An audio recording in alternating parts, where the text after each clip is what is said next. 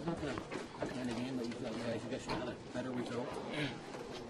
Uh, I mean, I think so. I, I- don't think uh, you know it was our fate tonight to, to win that game. It was just uh, you know, a bit of poor execution off the start. But I mean, it's a learning process, and um, you know it's it's one we'd like to have back. But uh, you know, tomorrow's a new day. Hat to Ryan Miller at all? Uh, absolutely. I mean, he made some great saves and, and, and opportune times to to change momentum in that game. So I mean, uh, kudos to him. But you know, I, I still think we need to do a better job of getting in his face and, and um, you know getting some traffic in front of that net. How frustrating is it to play a guy like Ryan Miller?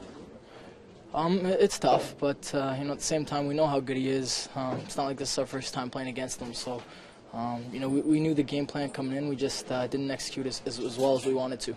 How close was it in those dying seconds there?